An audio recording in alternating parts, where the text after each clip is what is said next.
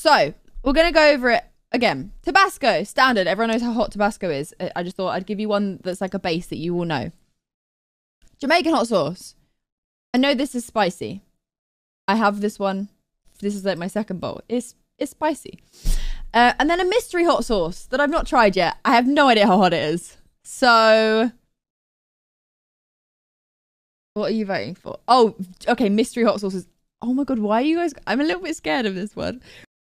I'm hoping it'll be okay. I'm hoping this isn't blow your head off. Oh god, this could literally be the hottest sauce I've ever had.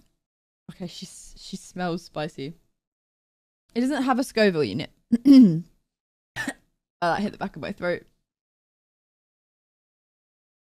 It smells a little bit like the hot sauce you have with like um oysters and stuff, which can be really freaking spicy.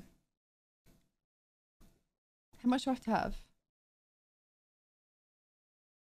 Should I just fill it?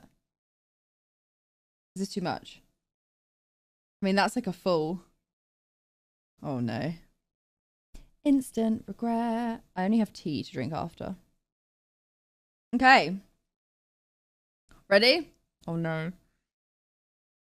I haven't tried it, so I'm just. Should I just go full in, or should I stick my tongue in it first so I know what I'm getting myself into? Should I just go full? Oh my god, I can smell it. That's too much. Nah, it's fine. Just do it.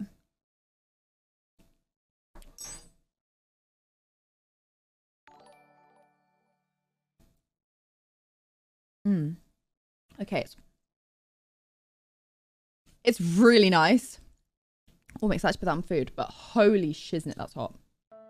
It's not bad. It's not bad. Like, it's really hot, but like, I can handle it.